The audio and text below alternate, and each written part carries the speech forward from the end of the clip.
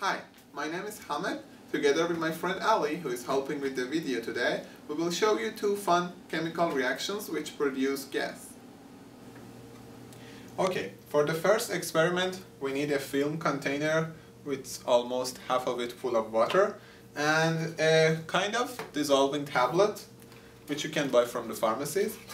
Uh, first I will put uh, half of one of these tablets into the container and just close the top and see what happens. This should be done quite fast, so let's see what happens. I would put this into the film container, close the top, and then we watch together.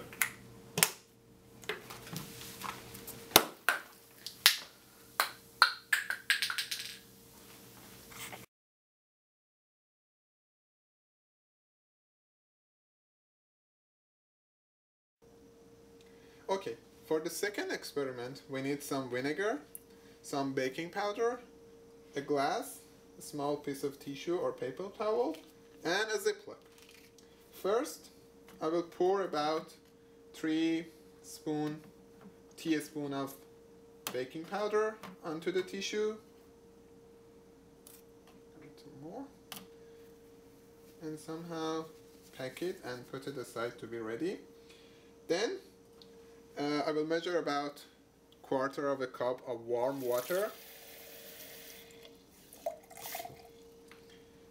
And pour this into the ziploc.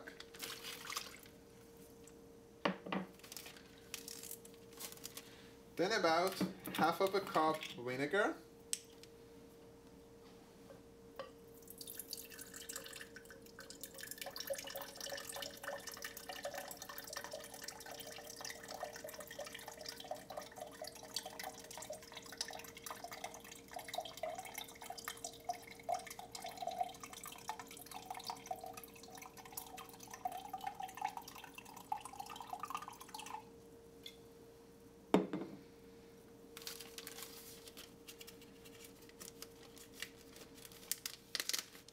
add this to the water.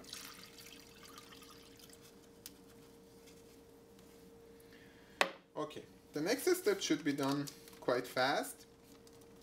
We have the baking powder ready. We just put it into the ziploc and just close the top quite fast.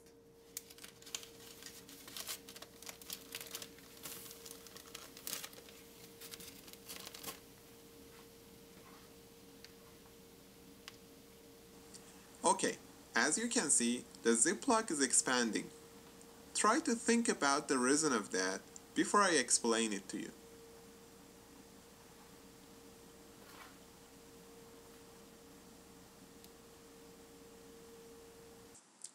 Okay, now I will explain the reason behind these two fun experiments.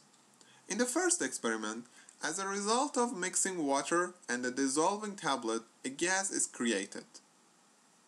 The gas is called carbon dioxide and is the same gas that we breathe out. By releasing more and more of this gas, the pressure inside the container increases until the rocket container is blasted up. In fact, the gas is invisible, so you can't see it in real. But from the pressure increase in the container, we understand that a gas is created from the reaction. For the second experiment, if you remember, we mixed warm water with vinegar and baking powder, and we saw that the ziplock expanded. Try to explain what has happened inside the ziplock, similar to the argument that I explained for the first experiment.